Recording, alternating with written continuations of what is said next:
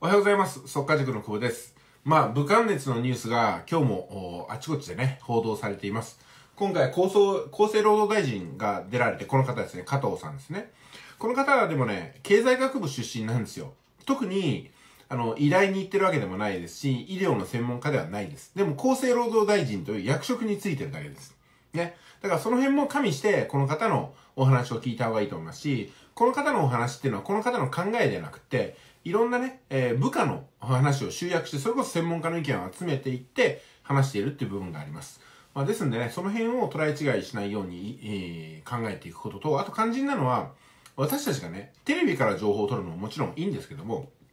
インターネットから情報を取るのもいいんですけども、身近な専門家にお話を聞くっていうのが、あ一番簡単な有効な方法なんではないかなと思うんですよ。じゃあ身近な専門家って誰って話でしょ非常に簡単です。私今ね、歯医者に行ってるんですけども、歯医者さんとか、それから、あ歯科衛生士さんね、こういった方に、あの、まあ、待ち時間とかね、最近コロナウイルス流行ってますよね、みたいな話すればいいんですよ。そしたら、その方の個人的な見解として、いろんな話が聞けたりとかね、もちろん医療機関に携わってる方なんで、その人の考えの方が、テレビほど、まあ、文義型ではないですし、まあ私たちみたいな、普通の人の意見ではないんですよ。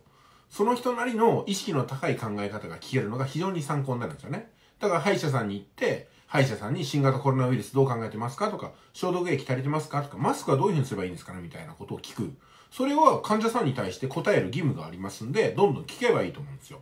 近くの診療所に行った時にね、そういう話をするとか、あとドラッグストアでアルバイトをしてる方に聞くのもいいと思いますよ。白衣を着てらっしゃるでしょドラッグストアの薬剤師さんか、もしくは一般職員さんにどう考えてますかとか、入荷状況どんな感じですみたいな感じで雑談していく。もっともっと言えば、普段からそういった方との関わりを持っていたかなってことが、今回のようなことに対する防御壁にもなると思うんですよ。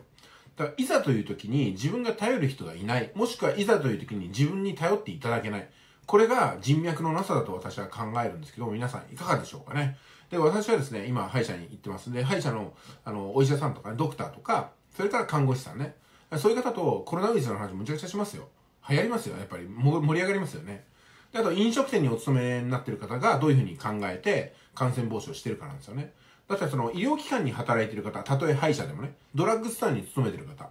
あの、むちゃくちゃ自分は感染感染のリスクが高いのを出勤してるから、防御力ってのはものすごくね、気をつけてると思うんですよ。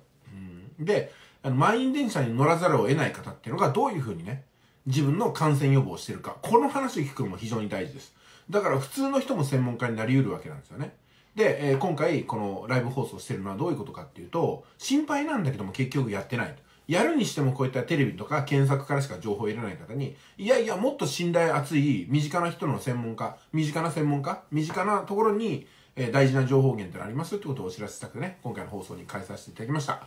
えーそれではね、最近ね、ちょっとね、言葉が出にくくなったんですよね。老化でしょうかね。あの、ちょっと年齢も重なってきたんでね、えー難しいところがありますけども、お聞きいただきましてありがとうございます。